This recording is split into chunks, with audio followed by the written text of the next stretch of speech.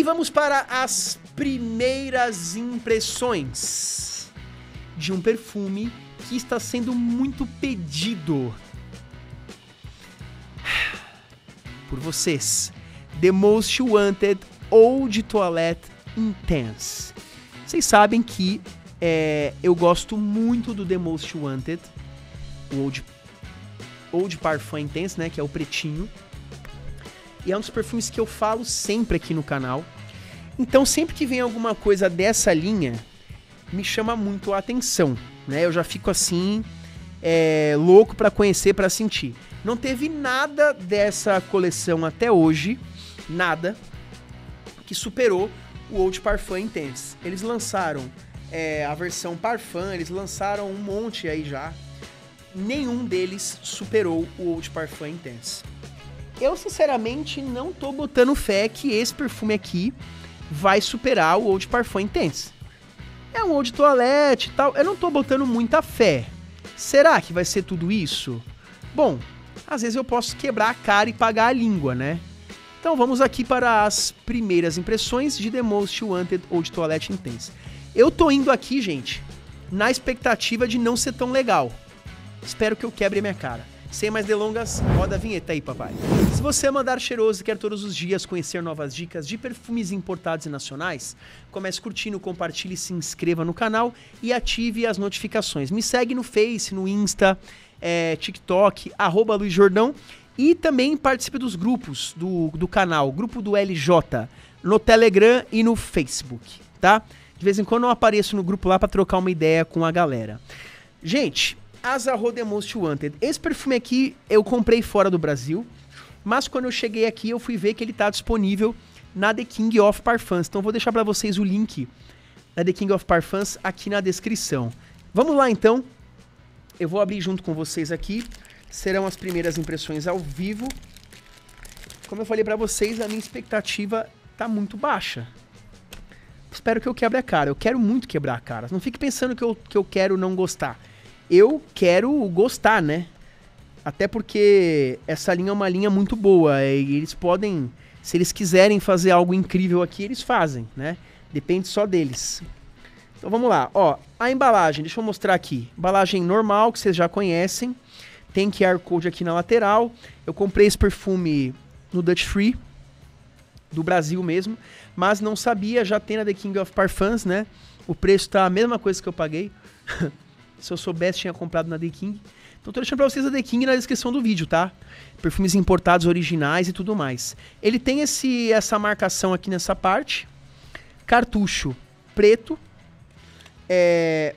Aí aqui a gente tem o vidro parecido com o Old Parfum, né? Já me alegra um pouco. E aqui embaixo, transparente. Olha, se for uma versão bem parecida com o Old Parfum, com mais frescor, quem sabe não seja um perfume legal, assinatura para o trabalho, alguma coisa mais confortável, né? Vamos torcer para ser bom. Tem um perfume aqui. Eu eu não tenho perfume aqui, eu acho. Parece que tem um pouquinho de perfume aqui. Eu não tenho perfume no pulso. Então eu vou mandar ele direto na pele. Ó. Parece que o frasco é refilável. Deixa eu ver aqui.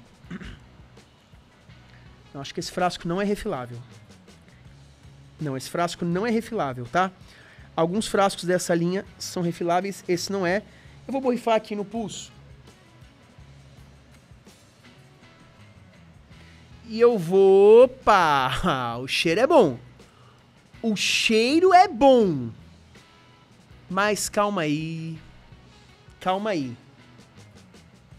Calma aí, calma aí, calma aí. Calma aí. Mano, ele é muito cítrico, tá? Muito diferente, muito diferente. Vamos lá, galera, vou borrifar ele também aqui na fita, tá? Pra gente poder ter aqui essa opção na fita, apesar que ficou bem forte na minha pele também. O cheiro, pelo que eu tô percebendo no ar aqui, que ele já tá aqui no ambiente, ele tá bem diferente do The Most Wanted, não tem nada a ver com nada da linha até o momento, tá? Não sei nem se isso me, é, me deixa feliz ou triste, mas vamos lá. Olha, olha, o que eu falo? O que, que eu faço aqui? É um perfume bom. Ele é um perfume aromático, podemos dizer que ele teria um uau aqui? Uau. Bom, só um uau. Não é extraordinário, tá? Tenho que dizer para vocês assim, honestidade aqui. Também não é ruim. Primeira crítica que eu tenho aqui. Já tô puto. Pra que fazer isso? Diz pra mim, Azarro. Eu queria que vocês me explicassem. Ah, pra que fazer isso, Azarro? Vocês têm um perfume de sucesso que é o Old Parfum Intense. Aí vocês lançaram o Old Parfum, vocês lançaram o Parfum, que não tem absolutamente nada a ver com o Old Parfum Intense, ele foi flopado. Flopado. Todo mundo só quer comprar o Old Parfum normal, que é muito bom, que tem um caramelo inovador. Aí vocês lançaram o Old Parfum Intense, que, o, o, o, parfum, o Parfum que não tem nada a ver. Já que tá na moda do Elixir, por que que vocês não me lançam um Elixir dessa linha? O que, que, tem a ver vocês me lançar um Old Toilette agora, mano, nessa altura do campeonato? Por que que vocês não me lançam um Elixir? Pega aquele caramelo que é o que a gente tá querendo. Todo mundo quer aquele caramelo maravilhoso, aquele caramelo toffee que vocês fizeram no, na versão. Eu vou até pegar aqui, ó. Vocês fizeram um caramelo inovador aqui nesse perfume, que é para mim um dos melhores perfumes, gente, designers para encontros de todos os tempos. Caramelo muito bom, sedutor, fácil de agradar. Pô, cara, sabe por que vocês não, não me fazem, então, a versão Elixir e pega esse caramelo, mano, e turbina essa bagaça, velho? Mete um couro aqui, mete uma baunilha de Madagascar junto, não sei, bota um wood, sei lá. Olha esse perfume, olha isso aqui. Uau, uau, uau. Isso aqui é uma maravilha. Caramelo maravilhoso, uma sálvia linda, um perfume cremoso, confortável, fácil de agradar, ok? Esse perfume aqui é bom, ele é bom, mas ele não tem nada a ver com essa linha, mano. É um perfume frutado. O que, que vocês fizeram aqui? Explica pra mim. Eu, eu não vou aceitar jamais, eu vou ficar puto sempre. As empresas querem lançar flanker só para aproveitar uma linha. Ah, que tem um frasco bonito, que tem um revólverzinho, que é sucesso. Vocês vão lançar flanker que não tem nada a ver com o primeiro. Qual é o objetivo disso, mano? Explica pra mim. Tá? Então, assim, ó, é, é um perfume muito bom. Eu fico meio puto logo de cara. Eu acho que não, não faria sem. Não tem, assim, time, time de mercado lançar um Old Toilette Intense. Não tem ninguém. É que nem aquele meme, né? Ninguém. É, ninguém. Ah. Aí, azarrou. Vamos lançar um Flanker Old Toilette. Não tem ninguém esperando isso. A gente tá esperando isso aqui, ó. A gente quer isso aqui. Ó, deixa eu ver se vocês entendem, ó. Por favor, pessoal do marketing, pelo amor de Deus, cara, escuta um pouquinho o seu público tá? Eu sou influenciador, eu faço conteúdo. Porra, é, escuta, eu sou consumidor. Consumidor. Eu não sou vendedor. Eu não sou vendedor de perfume. Eu sou consumidor, cliente, influenciador, criador de conteúdo. É isso que eu sou. Tá? Colecionador de perfumaria, é isso que eu sou. Escuta o seu público, porque eu falo aqui em nome dos meus inscritos que falam a mesma coisa, né? O seu público quer isso aqui, ó. Pessoal, eu tô mentindo? público que me assiste, comenta aqui, pelo amor de Deus, pra, pra ver se a Azarro entende. A gente quer isso daqui, ó. A gente quer o The Most Wanted Old Parfum, que é o melhor de todos, na versão Elixir, na versão Parfum turbinado. Não tem nada a ver com aquele parfum que vocês fizeram, que não tem nada a ver com ele, tá? A gente quer esse DNA. Chama o perfumista lá que fez de novo, troca uma ideia com ele. A gente quer esse DNA na versão Elixir, por favor não tem sentido nenhum agora vir um old toalete desse aqui. Não tem ninguém esperando, tá? Mas vamos ignorar tudo isso e vamos tentar acalmar o coração. Eu vou tentar acalmar o coração e falar desse perfume como se nada disso estivesse acontecendo, tá? Eu vou tentar acalmar meu coração e falar dele como se nada disso que eu falei existisse. Deixa eu até pegar aqui para ver as notinhas dele. Ó, antes de ver as notas, tá? Ele tem uh, Ele tem aqui um cassis, um azedo, claramente um azedinho. Ele tem um, um acorde aqui frutado que vai puxar para aquele caminho do milesime imperial, sabe aquele cesto de frutas, né? Então é um acorde frutado meio azedinho. Aqui eu chuto que tem cassis, né? Notas assim. E ele também tem cítricos, tá? Eu diria para vocês que é um limão siciliano. Nenhum perfume The Most Wanted tem isso. Não sei da onde que eles tiraram isso. E também não tem necessidade de lançar agora um Old Toilette nessa linha. Tem muita coisa mais importante para lançar, como uma versão definitiva do The Most Wanted primeiro, que é o que todo mundo quer. Mas enfim, vamos lá. Deixa eu ver as notinhas dele aqui, ó. The Most, eu tô, eu tô, desculpa tá desabafando assim aqui, tá? Ó, o que eu desconfiei, eu não vou nem, eu não vou nem descer a página aqui para ver as notas, tá? Eu só, eu só vi uma pista aqui, ó, lavanda.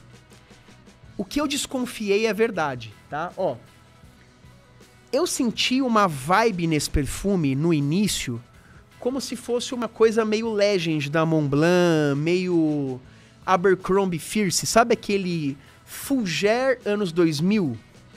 Só que ele tem essa vibe, vamos lá, tem muitos perfumes assim. A gente pode falar aqui, ó, Mercedes-Benz Man, Legend da Montblanc, a gente teria o original, que é o Abercrombie Fierce, né? Aí teríamos alguns nichos, Foconero, Tiziana Terenzi, Percival, Parfums de Marli, né?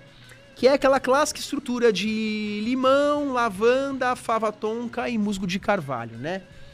Ele não chega a ser um perfume assim, não é exatamente, mas ele tem um quê? Ele tem um quezinho.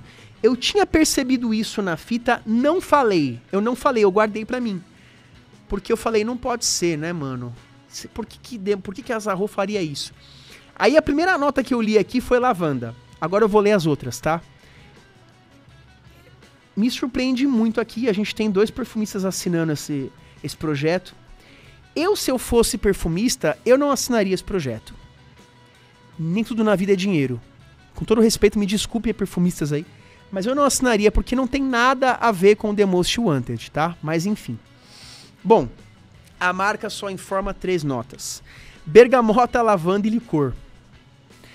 E musgo de carvalho. Então a gente tem aqui, ó, três notas que vão para aquele caminho do Legend, que seria o caminho do Fulger aromático. No caso, como eu já tinha falado antes, bergamota, lavanda e musgo. Ó, agora eu vou falar o que eu tô sentindo aqui. Não tem informação no site, então eu vou ter que ir na raça. Eu tô sentindo agora, nesse momento, cassis e toranja, tá? Eu também tô sentindo musk e sândalo. Querendo ir para aquela secagem mesmo de Abercrombie Fierce, de Percival e Foconero. Que é aquele caminho do aromático com um pouco menos de tonka, um pouco mais confortável e branco. Mano, completamente desnecessário. Com todo respeito, mas assim, não tem nada a ver esse produto dentro dessa linha. Faria muito mais sentido se fosse na linha de Azarro Puromi que é um Fugere anos 80, se fosse assim, ó, Azarro Puromi Nel, faria muito sentido isso daqui. Um Azarro Puromi, que é o tradicional novo. Por que, que eu tô falando isso? Porque o Azarro Puromi, ele é o Sauvage, ele é o Mont Blanc Legend dos anos 80, 90. Ele é o clássico ali, estrutura Fulger Barbershop. Então faria muito sentido esse líquido num Azarro Puromi Nel um projeto, edição limitada, sei lá, entendeu? Não faz sentido nenhum esse perfume. Eu acho que esse perfume ele consegue ser o pior do ano até agora, tá? A gente tem mais ou menos uns 30 perfumes esse ano. Esse aqui vai estar entre os cinco piores. Com todo respeito, assim, gente, olha. Triste demais. É um perfume bom, gostosinho, mas assim, desnecessário dentro dessa linha. Não tem time nenhum de lançamento, não tem sentido nenhum esse lançamento agora. Ele é gostosinho, mas ele, ele remete muito a uma estrutura muito batida, anos 2000, né? Uma estrutura assim que vai remeter a Legend e tal. Deixa eu ver se outras pessoas também. Ah, ah lá. Uma galera comentando aqui também, não, eu não tô louco, tá? Que lembra o Legend. Teve alguns que falaram do Phantom. Faz sentido, tá? Não tinha pensado no Phantom, mas aquela abertura de limão com lavanda realmente puxa pro Phantom. Realmente. Erro meu, não tinha percebido. Então aqui eu tô vendo no Fragrantica. Top, top mesmo. Então é isso, uma mistura de Phantom e Legend. Agora, Myself eu não concordo, tá? Pra mim não tem nada do Myself nesse perfume, pelo menos por enquanto. É, mas se bem que agora nessa, nessa evolução comecei a pensar também no. Agora que eu li Myself, mas não, não. Seria mais uma mistura de Phantom com Legend da Montblanc. Não tem absolutamente nada a ver com a coleção The Most. Que tristeza isso daqui, gente. Não entendi por que, a marca lançou, tá? Isso aqui. Deixa eu tentar é, ignorar a minha revolta e continuar as primeiras impressões. É um perfume assinatura versátil, tem frescor, né?